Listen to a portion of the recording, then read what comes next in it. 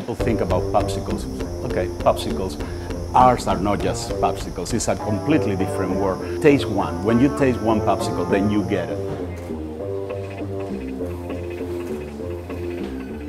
I always want to know where what I'm eating, what I'm, you know, what I'm putting in my mouth comes from. I want to know that it's healthy, that is, you know, that, that it helps farmers around your area to improve their lives. You know, what keep me uh, excited about this business, what allow my creativity to come in the morning, it's just, you know, I don't know exactly what the farmer's gonna bring me today. I don't know what I'm gonna be able to put my hands on. I think also that that's what our customers have grown to love about our business is our creativity. They always coming in and, and the first question that they will ask is like, what is new? What, what, what do you have, uh, what you create this time? Them embracing us in, in tasting new flavors and new spices, new fruits, things that they are not used to is what really keep me excited about it and creating more and more stuff.